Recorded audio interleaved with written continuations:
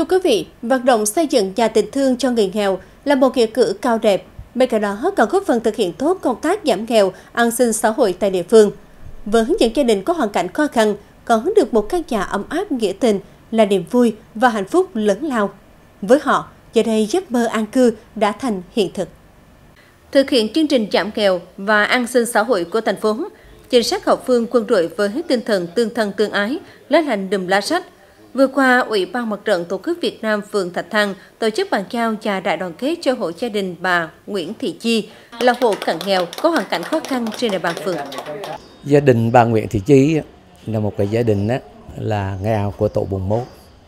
Như vậy là trước dịch thì bà sống là neo đơn và có một đứa con gái thì cũng làm lao động phổ thông thôi nhưng mà nuôi hai á, cháu á, là một cháu gái và một cháu trai trong ngôi nhà này đã được sơn mới, lát gạch hoa, lợp tôn lạnh, được sửa lại để tăng diện tích sinh hoạt cho gia đình.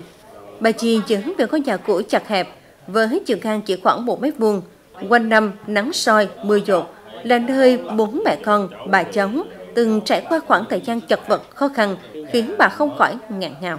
Bố bây giờ tôi ở gia dụng, giờ khó khăn. Từ ngày từ đơn phương chụp gió tôi làm bây già là đang hoang rồi, cáo rạo rồi, rộng rãi rồi. Không khó khăn là cũng gì dột dạc nữa. Tôi già rồi, cháu tôi đi bộ đội với có già đàng hoàng rồi À, tôi rất sung sướng.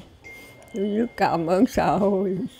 Đã gọi 90, ước mơ của bà là được nhìn thấy con gái và các cháu có một mái nhà kiên cố, khang trang để thành gia, lập nghiệp.